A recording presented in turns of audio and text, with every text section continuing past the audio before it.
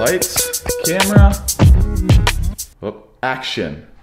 See, only two of these light up. Do you see that? Can you see how only two of those light up? And I've got one, two, three. Three, four, five, six, seven, eight, nine, ten of them. Okay, here's the reason why. It's because I installed this like really crusty outlet up there because I don't have a switch box for all of my lights in the shop. So that's what we're gonna do this week.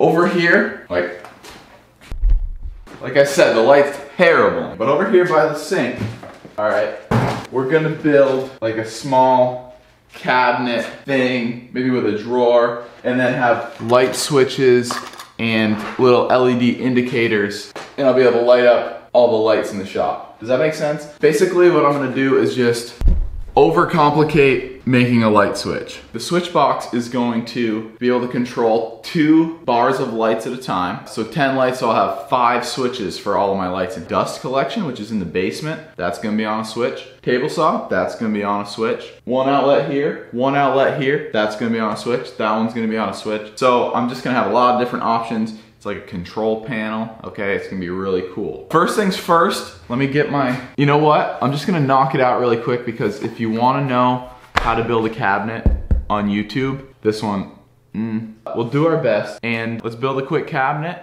and then we'll get to the complicated stuff, which isn't really that complicated. It's easy, it's all pretty easy.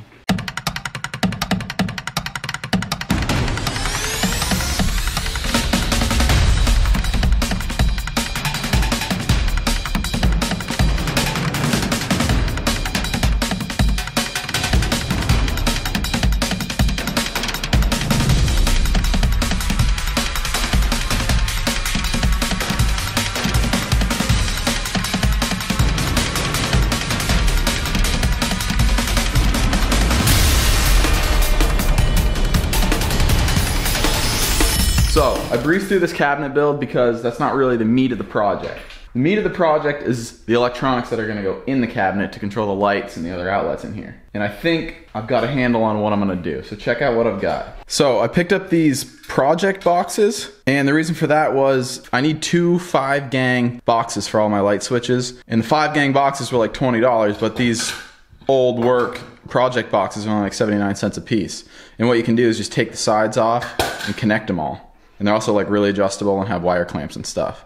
So then I got illuminating light switches. The idea here is when they're in the off position, they light up red so you can see them. And then when they're in the on position, I have these 110 volt LED lights that I got. So basically the idea here is when they're in the off position, they'll be red. And when they're in the on position, it'll be obvious which ones are on and which ones are off. So first things first, and that's just to connect all these project boxes and then try to figure out how we're gonna put them in the cabinet.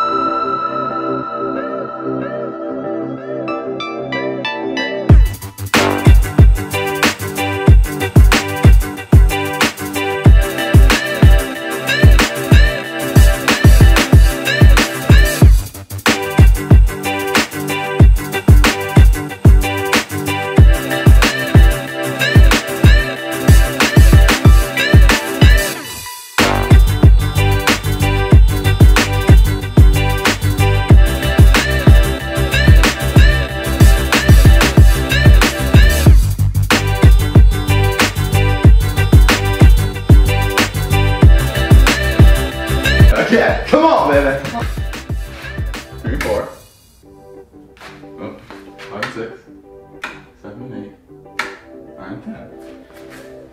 Oh, that's great, huh?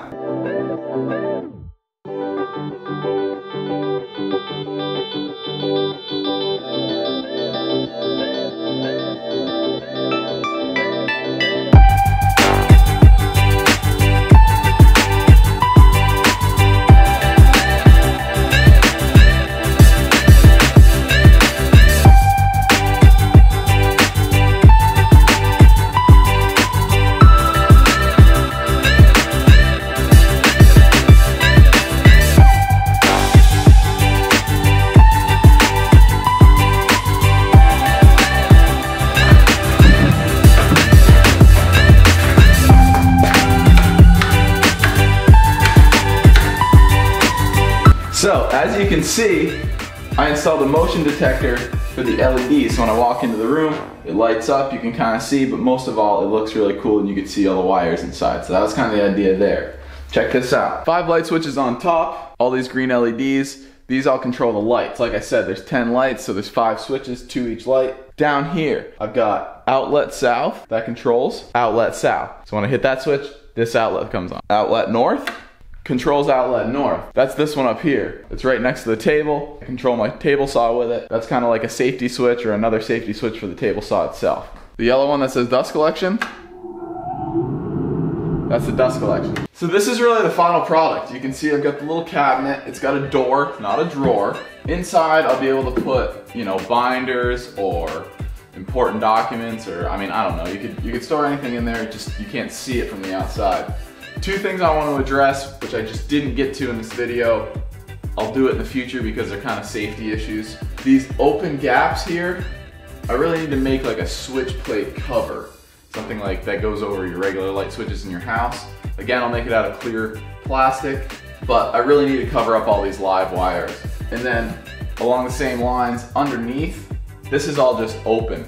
So I really need, again, to maybe put in some pegboard that might look cool or some more acrylic or something just so this whole thing is encapsulated with that acrylic. And you can't get your fingers in there or you know what have you. Safety first right? Safety second in this case. It's no big deal. We'll take care of it. But there it is. I'm so happy with this thing. It's really cool. It looks awesome when all the lights are off. You can see all light switches turn red when they're off so you can see them in the night when the lights aren't on but that's pretty much it for this one. It took a while, it was kind of tedious, but I'm pumped about it. If you want to try something like this, just remember when you're working with electricity in your house, always, always, always turn the breaker off and always be safe. If you don't know what you're doing, just hire an electrician, tell him what you want to be done. He might help you. I don't know if this thing's up to code, but it's really, I can't address the code, so I can almost guarantee this thing is not up to code, but it's cool. Anyway, build your own if you love it. As always, trust your guide, even when it comes to household electronics.